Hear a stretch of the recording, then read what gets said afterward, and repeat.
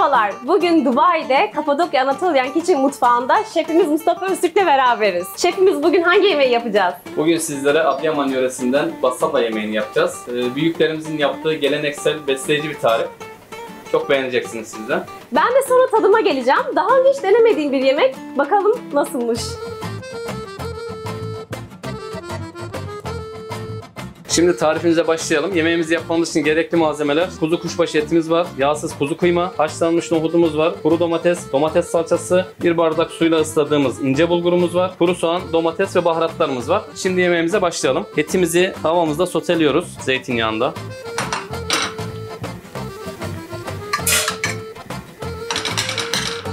Tenceremizin altını yakıyoruz. Yağımızı ilave ediyoruz. Soğanlarımızı, sarımsaklarımızı ilave ediyoruz. Pembeleşene kadar sotelemeye devam ediyoruz.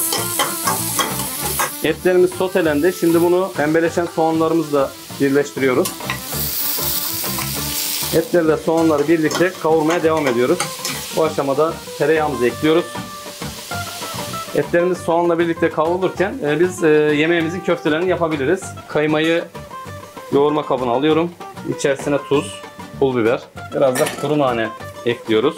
Daha sonra ısladığımız ince bulgurları köftemize ekliyoruz. Köfte haline gelene kadar yoğuruyoruz. Köftemizi yoğurduk. Ee, Şimdi etlerimiz soğanla birlikte güzel kavruldu. Do- Domateslerimizi ekliyoruz. Domates salçamızı ilave ediyoruz. Bu aşamada baharatlarını atıyoruz. Tuz, biraz pul biber, karabiber ekliyoruz. Kuru nanemiz. Ve bu yemeğin olmazsa olmaz baharatı sumak. Yaklaşık bir çay kaşığı e, toz sumak ekledik. Bu yemeğin e, mayhoş bir tadı olması lazım. Salçamız kavruldu. Şimdi e, üzerinde çıkacak kadar kemik suyu ekleyeceğiz ve kaynamaya bırakacağız. Yemeğimiz kaynama aşamasında biz köftelerimizi yuvarlayalım. Burada e, bir püf noktası paylaşayım sizle. Köfteyi yuvarlarken elinizi şöyle e, zeytinyağı ve nar ekşili bir karışıma batırarak yuvarlarsanız köftelerimiz daha mayhoş olacaktır ve yemeğin olması gereken kıvamını yemeğe vermiş olacağız. Fındık büyüklüğünde parçalar alıyoruz ve yuvarlıyoruz. Yaklaşık 45 dakika etlerimizi pişirdik. İstediğimiz kıvamda yumuşadılar. Şimdi e, nohut ve kuru domatesle birleştireceğiz. Bir 10 dakika kadar da beraber kaynayacaklar. Daha sonra köftelerimizle birleşecekler. Köftelerimizi yuvarladık. E, şimdi bunları zeytinyağında bir süre soteleyeceğiz.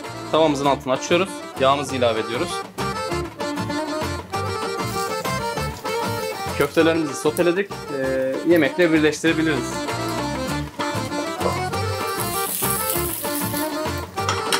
...10 dakika kaynamaya bırakıyoruz.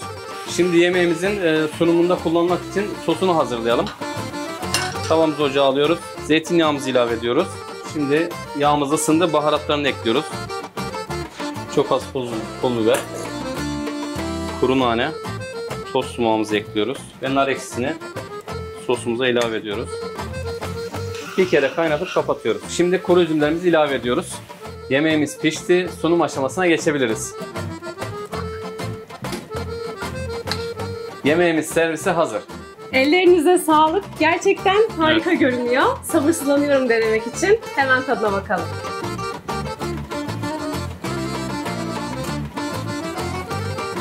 Hmm, gerçekten çok lezzetli.